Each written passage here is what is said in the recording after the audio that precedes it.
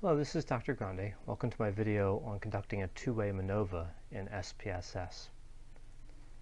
A two-way multivariate analysis of variance is used when we have two independent variables, both of which contain at least two levels, and two or more dependent variables measured at the scale level of measurement. So taking a look at these fictitious data I have loaded in the data view, I have 120 participants. I have one independent variable named program that has three levels, individual counseling, group counseling, and treatment as usual, and a, another independent variable named gender that has two levels, male and female. I also have two dependent variables, both measured at the scale level measurement, functioning and motivation. We're going to presume the data for functioning and motivation are loaded as t-scores. A t-score is a standard score that has a mean of 50 and a standard deviation of 10. We'll also presume that all the observations here are independent. A MANOVA gives us information about the effect of each level of an independent variable on a linear combination of the dependent variables. So from the output using these data, we will be able to tell if there's a statistically significant difference between individual, group, and treatment as usual, those three levels, as well as male and female, on a linear combination of functioning and motivation. MANOVA will also tell us about the combination of the two independent variables and the effect on the linear combination. So the interaction between program and gender on the linear combination of functioning and motivation. So the effect of program alone, or gender alone, is called a main effect. And the effect of program times gender is called an interaction effect. I have no missing values in this data set, and I also have equal numbers of each combinations of the levels of the independent variable. So if you look at the combination of individual and male, you see there are 20.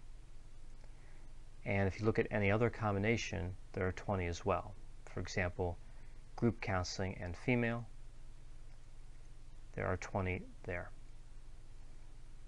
Looking at the assumptions for MANOVA, first we'll talk about sample size. And there are a lot of different theories regarding sample size. Uh, one is that you need 20 measurements for each level of the independent variable and this data set certainly meets that. Another sets the minimum sample size as the number of levels multiplied by the number of dependent variables. So using either standard, we are in good shape with these data. MANOVA assumes multivariate normality. There is no direct way to test for this in SPSS, so we use a few other tests to provide us information about this assumption. So first we will test for normality for the functioning dependent variable and the motivation dependent variable. And we'll do that using Analyze, Descriptive Statistics, Explore. And this is what the dialog looks like by default. So under dependent list, we'll load functioning and motivation. And the only change we'll make here is under plots, uncheck stem and leaf, and check off normality plots with tests. Click continue, then OK. And we'll move down to the test or normality. As you can see, we have the Kolmogorov-Smirnov test, otherwise known as the KS test, and the Shapiro-Wilk. Normally, I interpret the Shapiro-Wilk. In this case, uh, all the results are not statistically significant, so the p-value for the KS test for functioning and motivation is 0.2 and the p-value for Shapiro-Wilk for functioning 0.482 and for motivation 0.571. So all those results are not statistically significant, so we would assume normality. So we're going to assume that functioning is normally distributed and motivation is normally distributed. Additionally, we're going to go to Analyze and go to Regression and we're going to use the linear regression function to calculate the Mahalanobis distance. So in this case, uh, it doesn't matter what the dependent variable is, I'll use program. But since we're not actually running the regression to find out the contribution of predictor variables to a dependent variable, it really doesn't matter what the dependent variable is. So we'll put functioning and motivation in the independent list box. And then the only change we're going to make here on the right is under Save. To check off Mahalanobis. This is going to create a new variable. So I'll click Continue, then OK. And what we want to look for here is under Residual Statistics, Mahalanobis distance. Of particular interest is the maximum value here. It's 13.316. And we know the critical value for Mahalanobis distance when you have two dependent variables is 13.82. So this value, the maximum value, is less than 13.82. So even though we can't test for multivariate normality directly, we're going to assume that we've met that assumption. Next, we want to check for the linear relationship between each pair of the dependent variables across each level of the independent variables We'll do that using graphs, legacy dialogues, scatter dot, and then matrix scatter. Click define. In this case, the matrix variables will be functioning and motivation. And in rows, we'll put the independent variables, program and gender. And we'll click OK. And in these scatter plots, what we're looking for is an elliptical shape starting in the bottom left and moving to the top right. And we do seem to have that in most of these scatter plots. Although it's a bit questionable in a few of these cases, generally it appears we've met the assumption so move forward and test for multicollinearity. So do that, we're going to go to Analyze, Correlate, Bivariate, and we're going to leave everything set to default. We're just going to load functioning and motivation into variables and click OK. So the correlation between the two dependent variables is 0.429 as long as it's less than 0.9, we would assume that these variables are not multicollinear. But we also want to make sure that they are related at a correlation of greater than 0.2. So in this case, at 0.429, we meet both of those assumptions. They are related, but they are not multicollinear. At this point, we're ready to conduct the MANOVA itself. And just to clear this data view up a bit, I'm going to delete the Mahalanobis distance variable. And we're going to go to Analyze and General Linear Model and Multivariate. This is what it looks like by default. Under Fixed Factors, I'm going to load Program and Gender and dependent variables functioning and motivation. No changes under model or contrast. Under plots, I'm going to plot program on the horizontal axis and gender on a separate line and add that. Under post hoc, uh, gender only has two levels, so there's no way to run a post hoc test for that. There's no need. but program has three levels, so I do want to run a post hoc test for program. And since we have equal cases for each level, I'm going to use uh, Tukey. If we had unequal number of cases for each level of the program independent variable, I would select Scheffe. So cl click Continue there. Under Save, there's no changes, but under Options, we do want to make a few changes to the default. Uh, I will add display means for program, and for gender, and for program times gender. And then under display, we'll add descriptive statistics, estimates of effect size, and homogeneity tests. Click Continue. So now we're configured to run the MANOVA. And taking a look at the results, you can see we have 40 participants in each of the levels of program and 60 uh, from each gender. Moving down to descriptive statistics, we can see the means for functioning and motivation for each combination of the levels of the independent variables.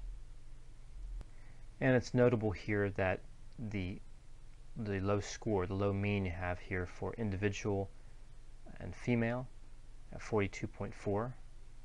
That's a bit lower than the other scores. And down here for individual female for motivation, it's also a little lower, 45.45. Now moving down to Box's test of equality of covariance matrices. We can see the p-value here is 0.103. Now the alpha that we use for Box's test is 0.001, uh, not 0.05. Either way, of course, this is a non-significant result, but it's important to recognize that the alpha we're using is 0.001. So in this case, since we do not have a statistically significant result, we fail to reject the null, and we'll assume that the covariance matrices of the dependent variables are equal across groups. Moving down to multivariate tests, we did not violate any of the assumptions for MANOVA, so we're going to interpret Wilks lambda. If we had violations of assumptions, we would interpret Pillai's trace. So looking at program and Wilks lambda, we can see the p-value is 0.026, so it, uh, there is a statistically significant value there. So we're going to reject the null hypothesis that the combination of functioning and motivation is equal for all levels of program. And then we'll take a look at the partial eta squared.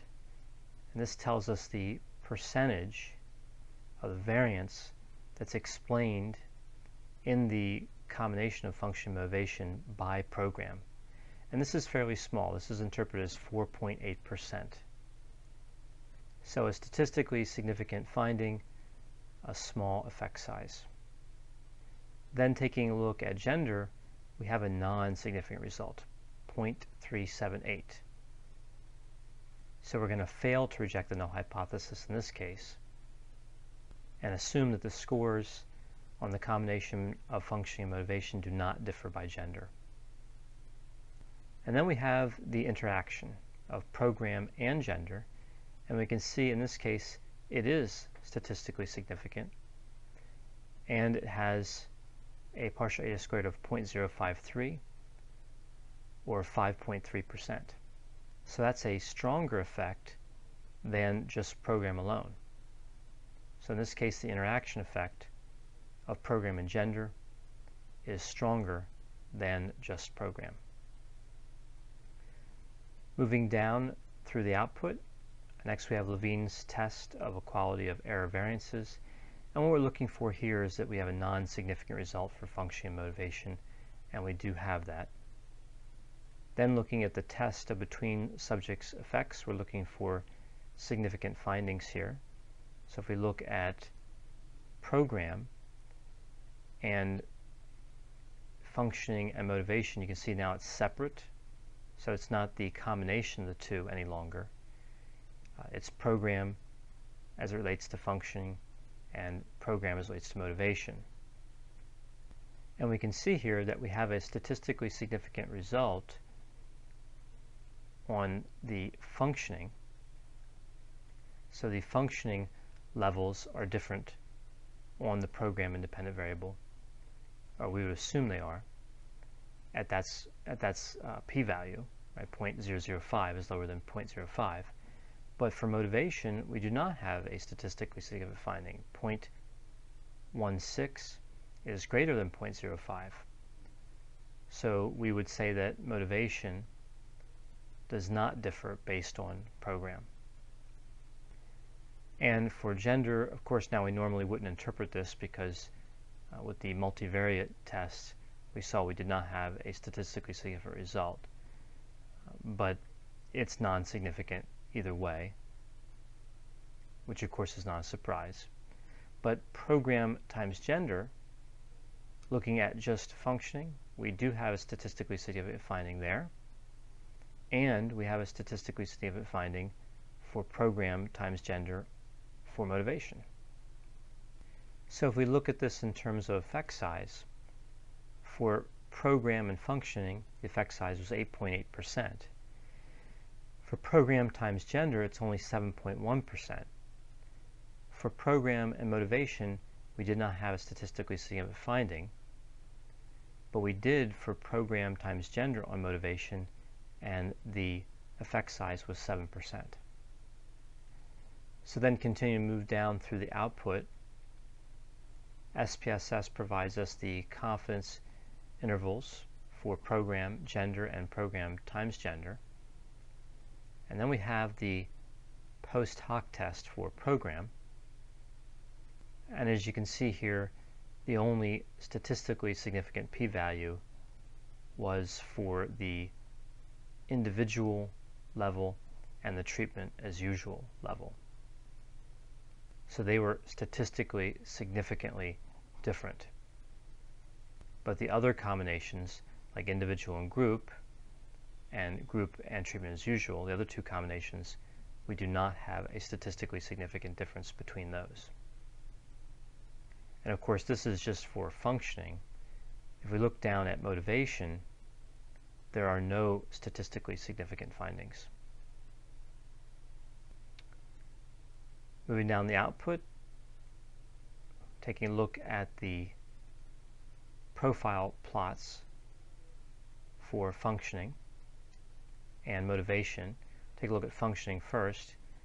We can see we have female represented by the green line and male by the blue line. And this graphical output is really helpful to understand these relationships because you can see across all three levels of program, the scores for the males didn't really change that much. But they did for the females. Females had a much lower score at the individual uh, level and a low, lower score at the group level than at the treatment as usual. And then looking at motivation, we can see it's a similar result, but it's not indicative as as much change as we saw on the functioning variable. And what's important to keep in mind when looking at these graphs is the y-axis, uh, the high and low values. You can see 54 and this is 44 here. If we look at the functioning graph, we can see it's 55 at the top and 42.5 here.